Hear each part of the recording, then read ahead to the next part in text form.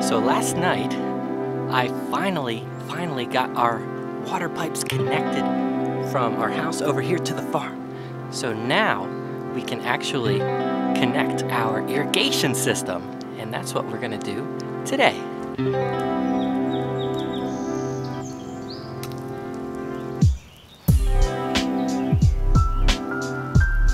Connecting those pipes took me a while because uh, we share a driveway with our neighbors and I had to figure out a time when people wouldn't be coming and going and uh, yeah that I wouldn't clog up traffic while I'm hand digging my little trench for our pipes but last night I started around 8 o'clock and finished around 10:45 p.m. so it took me about two and a half hours and got that done a little sore this morning, but it's gonna be worth it because I've been spending, wasting so much time watering, hand watering these plants over here. And this is coming at a great time because we had some cool days, we had lots of rain, but I look at the forecast and I see lots of 90 degree days coming up and we need to set up our sprinkler system here. So what I'm gonna be doing is based on a YouTube video by Josh Sattin who I follow and I recommend if you're into farming and regenerative, you know, agriculture practices like I am, he is a great uh, resource and you should check out his channel. So just want to give him credit because he basically gave me the idea for what I'm going to do today.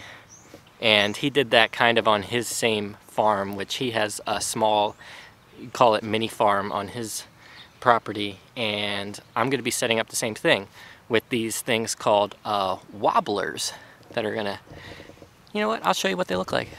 Alright, here we go. This, this is a wobbler. Think of it as uh, the bobblehead of sprinklers, I guess.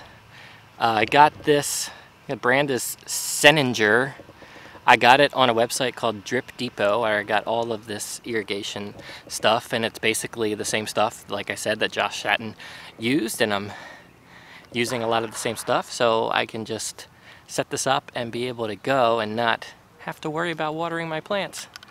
So this is going to be connected to a three foot PVC and I'm going to set them up three rows in.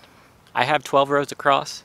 I'm going to do it on the third row on this side and on the third row in on the other side.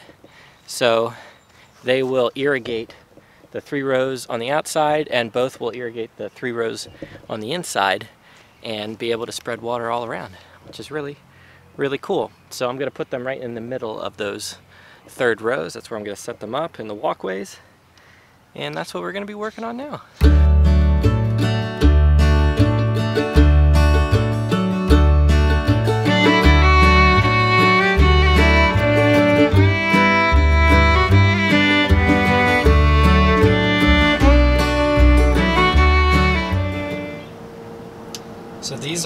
Fittings that I have connecting um, all of that plastic tubing. The tubing goes over this part, slips over, and then it gets tightened with this nozzle. And this is a male end here, threaded male that I have going into those female adapters on of the PVC on, on those T connectors. So I have one on each end. And then you have your sprinkler here, the T fitting, and then the tubing connects to this part of the lip.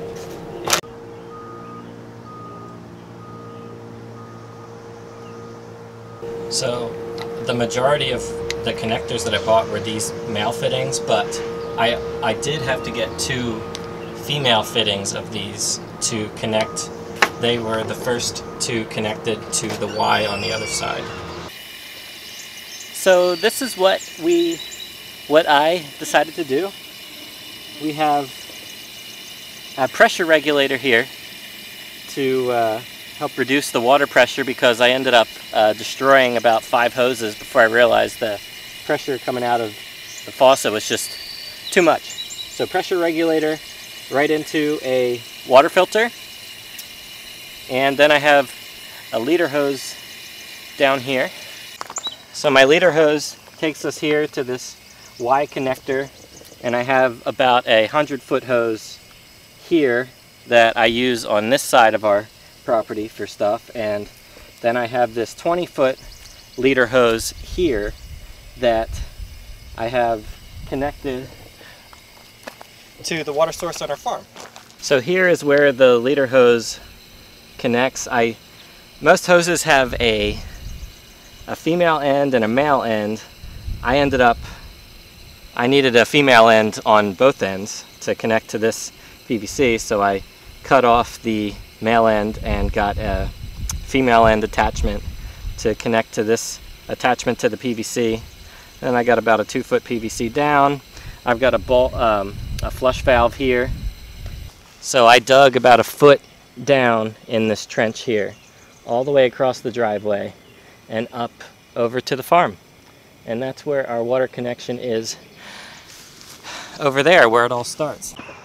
Okay, so all of that uh, PVC comes from that hydrant and then about 70 feet or so over here. And I have, I set up a little hydrant here. Everything is, everything was three quarter inch uh, PVC. And I got this three quarter inch um, brass fitting here for the hose. I got, a, this is a cheap timer, uh, Orbit timer. I have a feeling I might end up getting uh, maybe a better one because in the settings six hours is like the closest like interval for for a timer if you wanted to sit it you know set a timer and I might want to be watering the plants more than six hours apart when it's like 90 plus degrees and humid you know? But anyway I could set it manually for now. Um, I have another Y connector here and here I have I got a couple rolls of this. This is um, also three quarter inch um, plastic tubing and I have one going this way and one going this way for where I have my my sprinkler um, my sprinkler head set up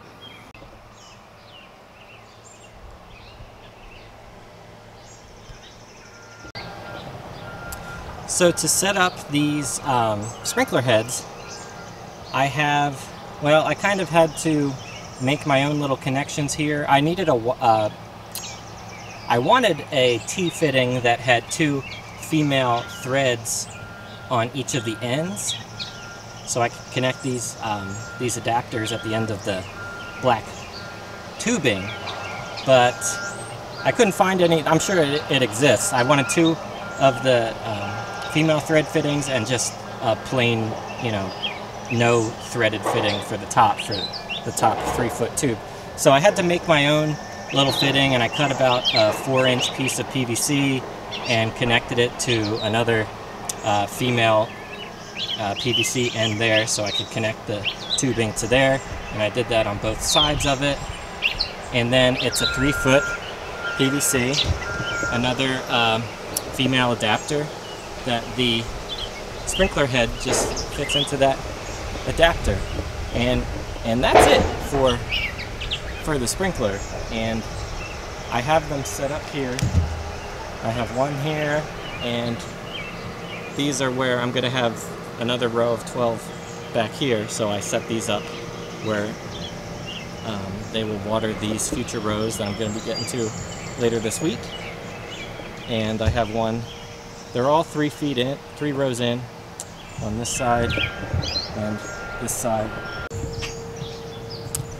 Another thing I didn't mention is I have them all, um, I have them all zip tied to a to a T-post, and really like that. Holds it up nice and straight.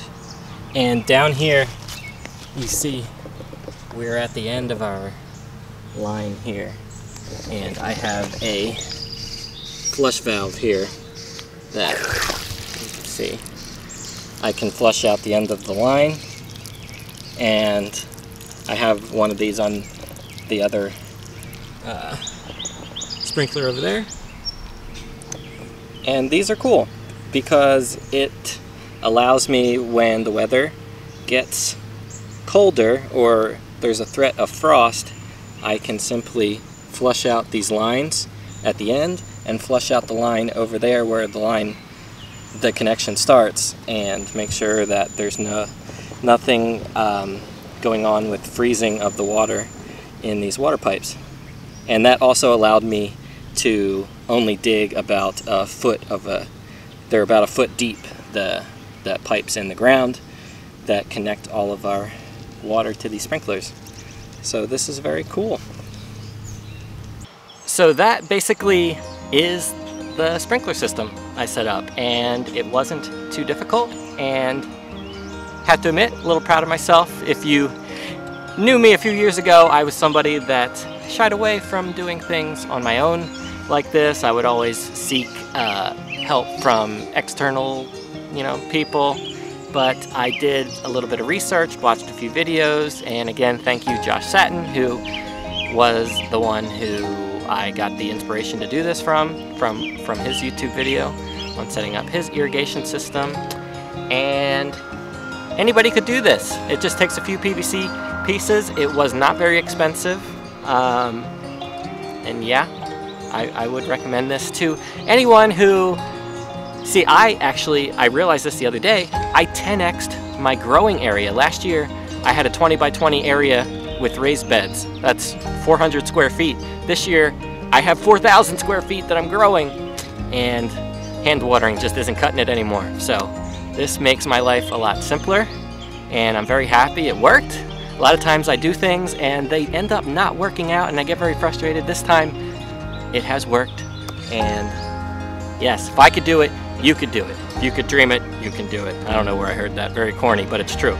So that's just gonna wrap up this video. Just wanted to share my little sprinkler setup. And if you like this video, give it a thumbs up. Subscribe to our channel if you haven't already. And we will see you next time. Since we made our sprinkler dreams come true, I think we should end this video with a little Baywatch run through the sprinklers. So let's do that.